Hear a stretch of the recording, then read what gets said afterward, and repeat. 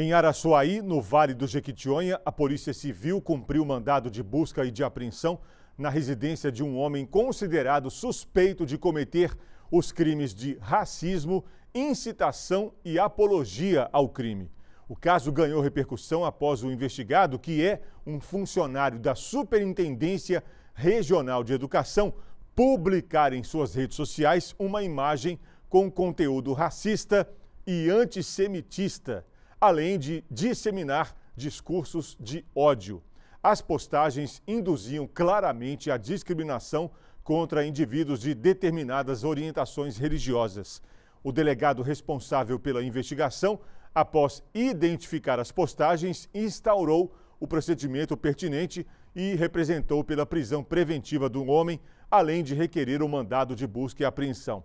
Foram apreendidos diversos dispositivos eletrônicos, entre eles um notebook, dois celulares e um HD externo.